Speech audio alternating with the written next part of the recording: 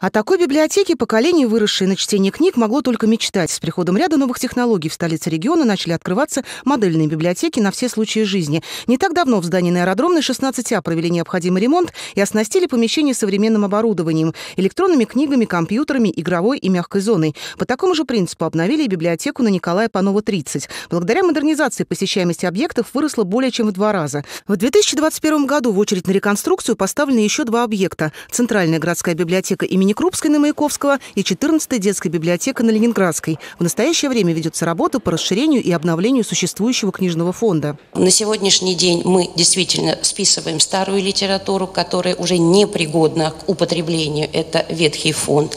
И идет новое поступление.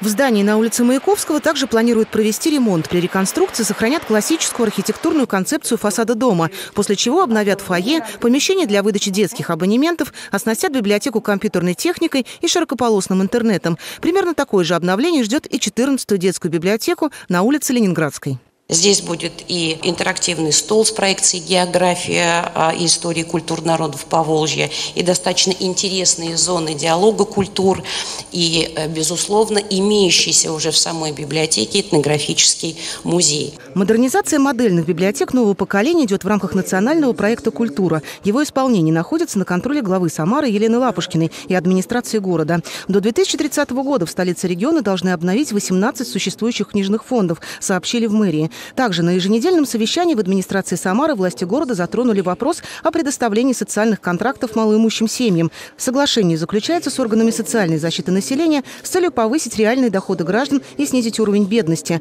Право на помощь по социальному контракту имеют все, чей доход ниже прожиточного минимума. Это семьи с детьми, неработающими пенсионерами, инвалидами, а также одинокие пенсионеры и с этого года трудоспособные граждане.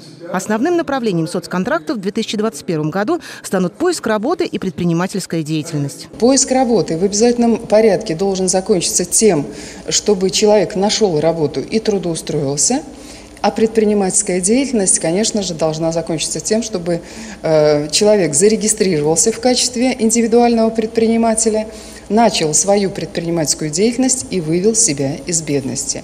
В этом году денежные средства по социальным контрактам будут выделяться и на покупку товаров первой необходимости для граждан, которые оказались в сложной жизненной ситуации. Программа социальной помощи на основании соцконтракта реализуется на территории региона уже 10 лет. За это время потратили 445 миллионов рублей и заключили более 15 тысяч соглашений.